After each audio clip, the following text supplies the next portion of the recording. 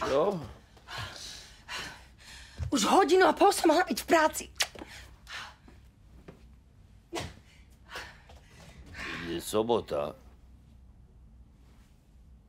Čo? Fakt. Sobota. To... Prepač, Mucko. Prepač. Kľudne spinkaj ďalej.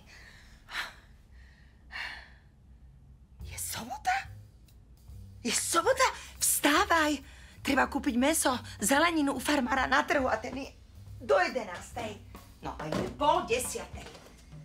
Ale veď pôjdeme potom normálne do potravy. No určite. Ešte sa musíme zastaviť v drogérii, lebo nám došiel prášok. No, takže ty povysávaš, ja umiem podlahu, treba utrieť prach a pretriediť veci v skrini.